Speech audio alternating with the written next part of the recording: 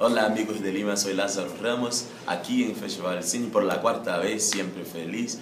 Y quiero invitarlos para ver las películas que son buenísimas, buenas películas en gran cantidad. Mis películas y las otras películas, siempre hay buenos cinema aquí.